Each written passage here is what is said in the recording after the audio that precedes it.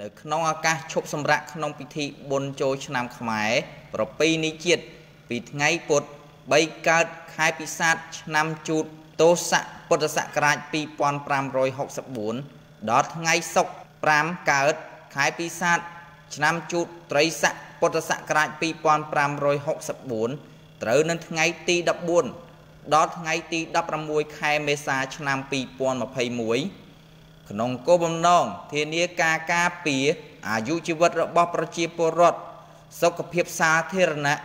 និងសន្តិភាពសាធារណៈព្រមទាំងកាត់បន្ថយឲ្យបានជាអតិបរមានៅផលប៉ះពាល់នៃការឆ្លងរីករាលដាលនៃជំងឺ ចំពោះវិស័យសង្គមនិងសេដ្ឋកិច្ចជាតិនៅក្នុងបរិការដែលព្រឹត្តិការណ៍សហគមន៍20កុម្ភៈឆ្នាំ2021នៃការឆ្លងរីករាលដាល ជំងឺ Covid-19 នឹងមិនទាន់មានភាពធូរស្រាលនៅឡើយរាជរដ្ឋាភិបាលសូមណែនាំដល់ក្រសួងស្ថាប័នមានសមត្ថកិច្ចពាក់ព័ន្ធនិងអាជ្ញាធរដែនដីគ្រប់លំដាប់ថ្នាក់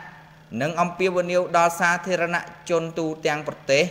ត្រូវយកចិត្តទុកដាក់គោរពនិងអនុវត្តប្រកបដោយភាពម្ចាស់ការស្មារតីភ្ញាក់រលឹកនិងការទទួលខុសត្រូវខ្ពស់នៅស្រាចរ លេខ01សរណណចុះថ្ងៃទី21ខែមិនិនាឆ្នាំ2021ស្ដីពីការឈប់សម្រាកក្នុងពិធីបុណ្យចូលឆ្នាំខ្មែរប្រពៃណីជាតិពីថ្ងៃពុទ្ធ3កើតខែពិសាខឆ្នាំឆ្លូវទស័កពុទ្ធសករាជ2564ដល់ថ្ងៃសុក្រ5កើតខែពិសាខឆ្នាំជូតត្រីស័កពុទ្ធសករាជ2564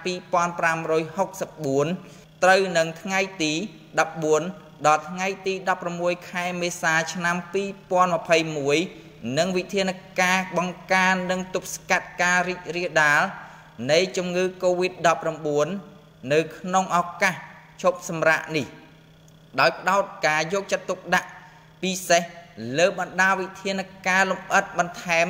ដោយខាងក្រោម1ក្រសួងស្ថាប័នមានសមត្ថកិច្ចពាក់ព័ន្ធ និងអាជ្ញាធរដែនដីគ្រប់លំដាប់ថ្នាក់ត្រូវចាត់វិធានការចាំបាច់នានាសម្ដៅគ្រប់គ្រង និងធានាសន្តិសុខសុវត្ថិភាព និងសណ្ដាប់ធ្នាប់សាធារណៈឲ្យបានល្អប្រសើរព្រមទាំងធានានៅការគោរពនិងអនុវត្តវិធានការសុខាភិបាលបង្ការនិងទប់ស្កាត់ការឆ្លងរីករាលដាលនៃជំងឺ Covid-19 ដោយម៉ត់ចត់ និងភ្ជាប់ភ្ជួន អនុលោមតាមបទបញ្ញត្តិច្បាប់និងលិខិតបទកថានជាធរមានទាំងនៅក្នុងការគ្រប់គ្រងចរាចរណ៍ការដឹកជញ្ជូនមនុស្សនិងការធ្វើដំណើរឆ្លងកាត់រាជធានីខេត្តនិងទាំងនៅតាមទីតាំងសាធារណៈនានាពិសេសនៅតាមវត្តអារាមរមណីយដ្ឋាននិងទីតាំងផ្សេងទៀតដែលអាចមានសភាពអ៊ូអរ និងមានមនុស្សជួបជុំគ្នាក្នុងចំនួនច្រើន2សាធារណជនគ្រប់រូបទាំងអស់ត្រូវចូលរួមអនុវត្តនៅវិធានការដូចខាងក្រោមទី1សូមនៅជួបជុំក្រុមគ្រួសារតាមគេអដ្ឋានរៀងរៀងខ្លួនជៀសវាងការធ្វើដំណើរចាក់ចេញក្រៅផ្ទះដោយមិនចាំបាច់និងជៀសវាងការធ្វើដំណើរមិនចាំបាច់ឆ្លងកាត់រាជធានីខេត្ត2 ជៀសវាងនៅការធ្វើដំណើរមិនចាំបាច់ទៅកាន់ឬចេញចូលតំបន់ឬទីកន្លែងដែលមានហានិភ័យខ្ពស់នៃការឆ្លងរីករាលដាលជំងឺ Covid-19 កំណត់ដោយក្រសួងសុខាភិបាល និងអាជ្ញាធរមានសមត្ថកិច្ចពាក់ព័ន្ធ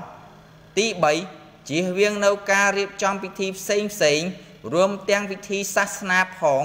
ឬការជួបជុំគ្នាទាំងឡាយណា ដែលមានសភាពអ៊ូអរនិងទី4អនុវត្តវិធានការ3ការពារនិង3កុំព្រមជាមួយនឹងវិធានការសុខាភិបាលចាំបាច់ផ្សេងទៀតសម្ដៅបង្ការនិងទប់ស្កាត់ការឆ្លងរីករាលដាលនៃជំងឺ Covid-19 ឲ្យបានខ្ជាប់ខ្ជួននិងគ្រប់គ្រប់គ្នា ទី5រាជរដ្ឋាភិបាលសូមក្រើនរំលឹកនិងអំពាវនាវជាថ្មីម្ដងទៀតដល់ក្រុមហ៊ុន និងអាជីវករដឹកជញ្ជូនអ្នកដំណើរគ្រប់ប្រភេទមិនត្រូវដំឡើងថ្លៃសេវាដឹកជញ្ជូនអ្នកដំណើរឡើយនឹងត្រូវយកចិត្តទុកដាក់